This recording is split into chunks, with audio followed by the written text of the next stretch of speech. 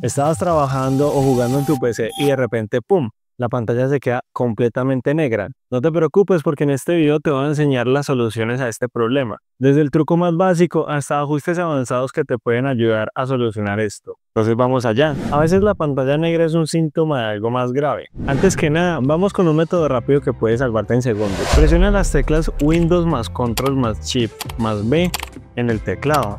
Esto va a reiniciar los controladores de tu tarjeta gráfica. Si el problema fue un pequeño fallo en el controlador, deberías ver la pantalla restaurada en unos segundos. ¿Funcionó? Perfecto. Pero si no, no te preocupes. Primero que todo, tu PC encendió pero la pantalla sigue negra. Te enseñaré a hacer un diagnóstico rápido. Vamos a descartar las causas más comunes. Entonces vamos a revisar los cables. Asegúrate de que los cables HDMI, DisplayPort o VGA estén bien conectados tanto al monitor como a la PC.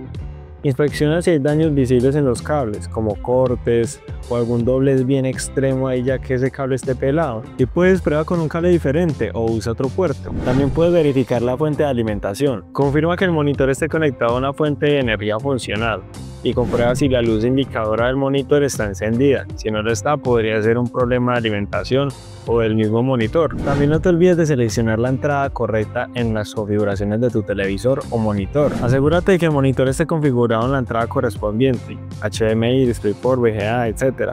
Usa los botones del monitor o el control para navegar por las opciones. Sigamos explorando otras posibles soluciones. Si todo parece estar en orden afuera, ahora echemos un vistazo a lo que está dentro del computador. Entonces, vamos primero a verificar la tarjeta gráfica. Vamos a ver si está bien insertada en la ranura PCI Express. Asegúrate de que los cables de alimentación también estén conectados correctamente. Podemos también verificar la memoria RAM. Retira los módulos de RAM y vuelve a insertarlos asegurándote de que estén bien colocados. Si tienes más de un módulo de RAM, prueba a usar uno a la vez para descartar que alguno esté defectuoso. Ahora vamos a verificar las conexiones de energía. Verifica que el conector principal de la fuente de poder de 24 pines y el conector auxiliar de la CPU, es de 4 u 8 pines, estén correctamente conectados.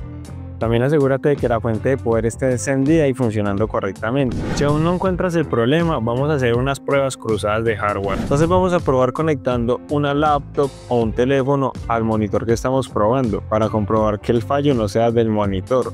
Si una vez que lo probemos con otro PC, con otra laptop o con un celular, podemos descartar de que sea el monitor. Ahora, si tienes acceso a otra tarjeta gráfica, instálala para verificar que el problema no esté en la tarjeta original. ¿Cómo puedes hacer para que estos fallos no vuelvan a ocurrir? Asegúrate de mantener los controladores actualizados. Usa herramientas como GeForce Experience para Nvidia o AMD Software para Radeon. Evita el sobrecalentamiento. Limpia regularmente la PC para evitar la acumulación de polvo. Cambia la pasta térmica del procesador. En el caso de que uses una tarjeta integrada o una APU. Revisa la fuente de poder también, una fuente de bajo rendimiento puede causar fallos en el hardware. Y mantén siempre actualizado Windows. Mantener el sistema operativo al día resuelve bugs que pueden afectar la pantalla. Si has intentado todo y la pantalla negra persiste, podría ser una falla de hardware. En este caso ya lo mejor sería llevar el PC a un técnico especializado. Pueden ser problemas en tu tarjeta madre, en la memoria RAM o incluso en tu tarjeta gráfica. Espero que estas soluciones te hayan sido útiles. Si te gustó este video, no olvides darle like, comentar qué te pareció y nos vemos en la próxima.